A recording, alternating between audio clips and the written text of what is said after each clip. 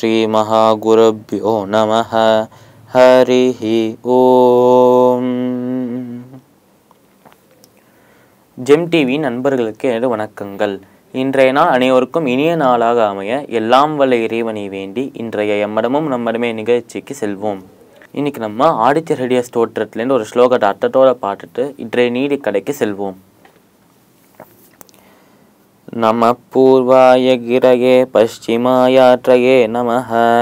ஜோட்டிர்கணானாம் பட்டயே தினாதிபட்டயே நமஹ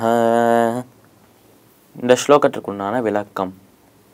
நம பூர்வாய கிரகே பஷ்டிமாயாற்றையே நமஹ. அதாவது உனக்கு வணக்கம். நீ யார் தெரியுமா? நீ வந்து கிழக்கில் உடிக்கிறாய் மேற்கில் அஸ்தமிக்கிறாய். நம பூர்வாய கிரையே பஷ்டிமாயாற்றையே நமஹ. ஜோட்டர் கணானாம் பட்டையே. அதாவது ஜோட்டிற்கு கணங்கள் இருந்ததுன்னா அதாவது பிரகாசம் ஊட்டக்கூடிய விஷயங்கள் இருந்ததுன்னா ஜோட்டர் கணானாம் பட்டையே அடிக்கலாம். பட்டி நீ பட்டி அப்படின்னு சொன்னால் தலைவன் அப்படின்னு அர்த்தம். அதாவது ஒளி வீசக்கூடிய விஷயங்களுக்கு பட்டி ஒளி வீசக்கூடிய விஷயங்களுக்கு உயிர் உள்ளடோ உயிரற்றடோ ஒளி வீசக்கூடிய விஷயங்களுக்கு தலைவன் நீ. ஜோட்டிர் கணானாம் பட்டையே தினாடி பட்டையே நமக. அதாவது எங்களுக்கெல்லாம் நாள் அப்படின்னு தர ஒரு விஷயம் நீதான். அதாவது எங்களுக்கெல்லாம் பகல் நேரம் கொடுக்குற அந்த கடவுள் நீதான். அதனால் உனக்கு நமஸ்காரம் அப்படின்னு வந்துட்டு சொல்கிறோம் அதனால் அப்படிப்பட்ட அந்த ஆதித்ய ஆதித்யனை வந்து போற்றக்கூடிய ஒரு ஸ்தோற்றத்தில் ஒரு ஸ்லோகம் இது. இந்த ஸ்லோகத்திற்குண்டான விளக்கம் இதுதான்.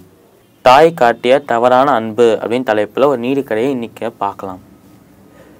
என்ன ஆறுனா ஒரு தாய் இருக்கா? அவளுக்கு வந்து ஒரு சின்ன பிள்ளை இருக்கான். அவனுக்கு வந்து ஒரு மூணு வயசு நாலு வயசு தான் இருக்குது அப்படின்னே வச்சுக்கலாம்.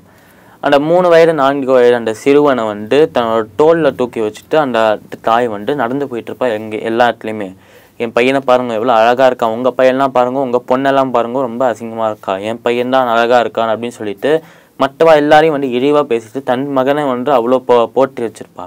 அதனால் அவ்வளோ பாசன்றது அந்த தாய்க்கு அவ்வளோ அஃபெக்ஷன்ன்றது அந்த தாய்க்கு அந்த மகன் மேலே.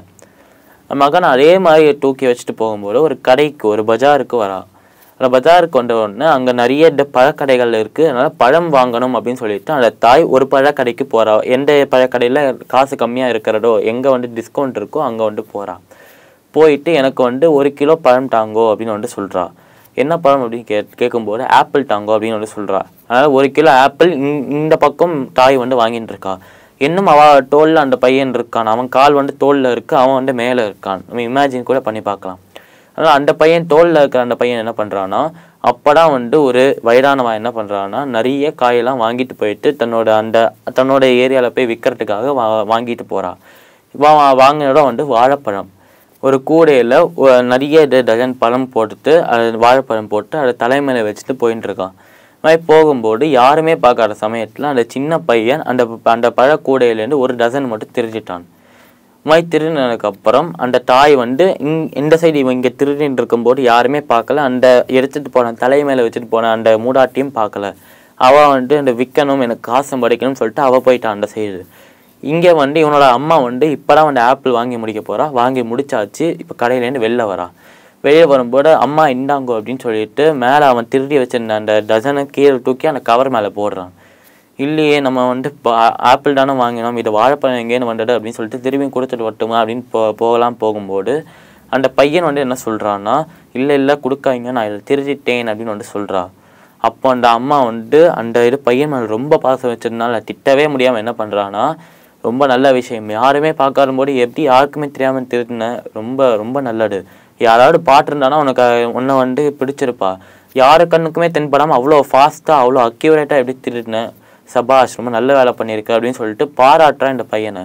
இதே இடத்துல வேறு யாராவது தாய் இருந்திருந்தா கண்டிப்பாக ஒரு தாய் இருந்திருந்தா அவள் வந்து திட்டியிருப்பா திருத்திருப்பா ஆனால் இந்த தாய் வந்து திருத்தாளர்னால இதுதான் வந்து அந்த பையனோட அந்த மகனோட வாழ்க்கையில் ஒரு பெரிய க கரும்புள்ளியாக மாற பிளாக் பாயிண்ட்டாக மாறப்போகிறது அப்படி என்ன நடந்தது? இந்த பையனோட எதிர்காலத்தில் என்ன நடந்தது? அந்த பையனோட எதிர்காலத்தில் நடந்திருக்கு இந்த தாய் தான் காரணம் தெரியும்.